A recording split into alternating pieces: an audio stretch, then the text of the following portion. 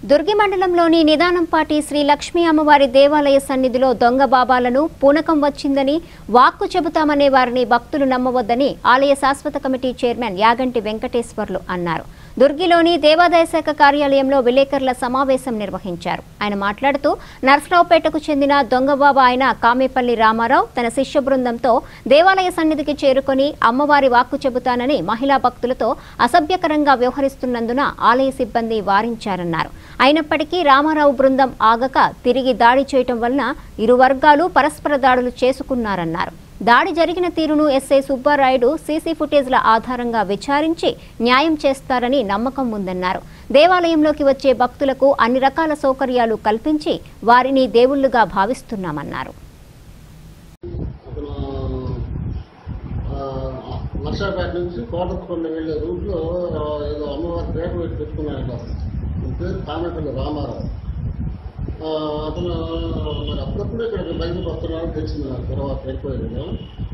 భజనకు వచ్చినప్పుడు ఏం అది భజన చేసుకుని వెళ్తే తప్పులేదు ఎవరైనా గుడికి ఎందుకు వస్తారండి? అమ్మవారి దర్శనం చేసుకోవాలి దండం పెట్టుకోవాలి కొబ్బరికాయ పెట్టుకోవాలి బయటకు రావాలి.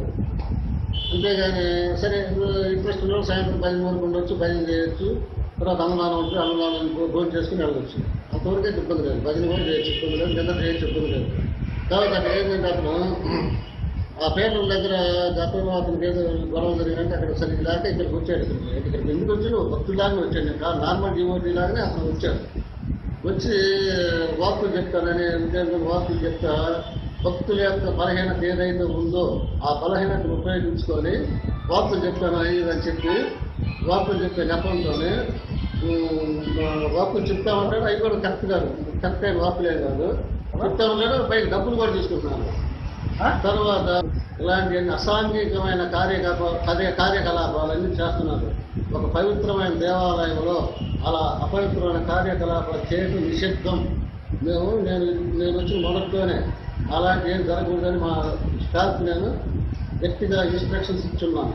నేను కానీ మా ఈవో గారు కానీ అలా ఎవరైనా వార్తలు చెప్తున్న ఆడవాళ్ళు కానీ మగవాళ్ళు కానీ ఆ వార్తలు చెప్తుంటే అది మీరు మా దృష్టి చేస్తారండి. మీరు మీకు మాట వినపడి మా దృష్టి చేస్తారు ముందు వాళ్ళు సామరస్యంగా చెప్పి అమ్మా ఇట్లా వార్తలు చెప్పకుండా అయ్యా ఇట్లా వార్తలు చెప్పకుండా మీరు ఇక్కడ వార్తలు చెప్పడం అనేది నిషేధం కాదు.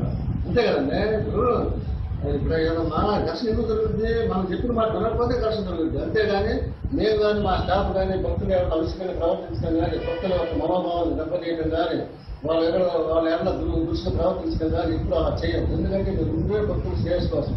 ఎవరైతే భక్తులు ఉన్నారో వాళ్ళ అమ్మవారి దగ్గర వస్తే వాళ్ళకి వాళ్ళ అమ్మవారు వాళ్ళకి దేవత మాకు వచ్చే భక్తులే మాకు అంత దేవుళ్ళు. వాళ్ళ యొక్క శ్రేయ వాళ్ళ యొక్క శ్రేయస్ చూడటం వాళ్ళకి సకల సౌకర్యాలు కల్పించడం మా పరిధిలో నేను ఎంతైతే చేయగలం వాళ్ళకి అన్ని సౌకర్యాలు కల్పించడం వాళ్ళు ఏ ఇబ్బంది లేకుండా భక్తులకి ఏ ఇబ్బంది లేకుండా వీళ్ళ దగ్గరకు వచ్చి దర్శనం చేసుకుని హాయి వెళ్ళిపోయే విధంగా తగిన ఏర్పాటు చేస్తున్నాం చేస్తాము కూడా.